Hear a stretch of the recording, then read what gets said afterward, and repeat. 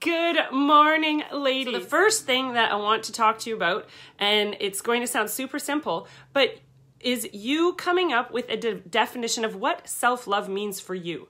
For everyone, it is going to be a little bit different. What I really want you to do is focus on what it looks like for you, because what it looks like for you is going to be very different than what it looks like for me. So, what do you want? And I'm not talking about, it's very easy. I posted a picture yesterday of, um, we were in Mexico and laying in a hammock, and so you can see the feet and the ocean off in the distance. It's very easy in those moments to um, love ourselves, to take care of ourselves, to nurture our soul. I'm talking about in your everyday life. What does self love mean to you? And not to your husband or your partner or your children or whoever else it is, what does it mean to you?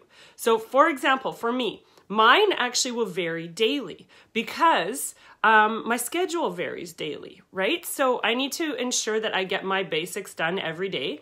For me, my basics are I always listen to personal development, a minimum of half an hour a day. Um, there's free podcasts. I actually have an Audible account, so I listen to usually about a book a week. Um, and I do it first thing in the morning because I just feel like it gets my brain going in such a positive direction. I work out daily, um, I eat well, and then I need some quiet time.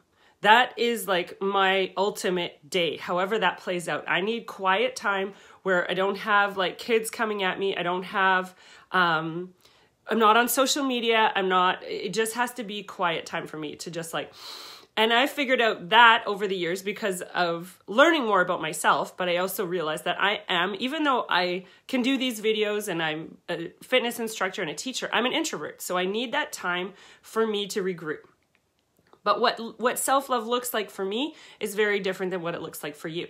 So, what I want you to do is, I want you to write it out. What does it in a day, your daily life, Okay, so if you work full time, um, how does it look for you? What do you want? And this is the key part of this video is what do you want to happen? And the reason I say it so strongly and so um, enthusiastically is because the number of people that I talk to, the number of women that I work with who can tell me what they don't want. They don't want to feel tired. They don't want to have um, feel frustrated with their kids. They don't want to feel um, like they're burning the end, the candle at both ends. Um, they don't want to feel fat. They don't want to feel lazy. They don't want to feel. They tell me everything that they don't want. What do you want instead? What do you want instead? Right? So if you're someone like for me, I used to suffer severely with depression and anxiety. And if you had asked me seven years ago what I what self love meant to be to me, I would have said I don't want to feel depressed and I don't want to feel anxious. Well, guess what my brain hears? Depressed and anxious. So guess what I feel all the time? Depressed and anxious. So I used to feel that way. All right? And this is where linguistically we need to focus on what we want. I want to feel calm. I want to feel energetic. I want to feel positive. I want to feel, um, and so what does that look like for you? And write it out. What do you want? Ciao.